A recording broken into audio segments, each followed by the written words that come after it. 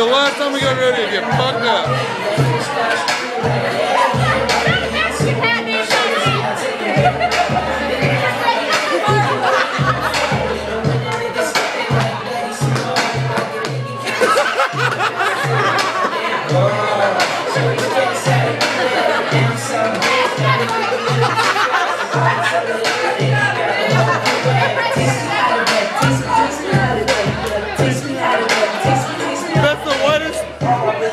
Blackest cowboy you've ever seen in your life.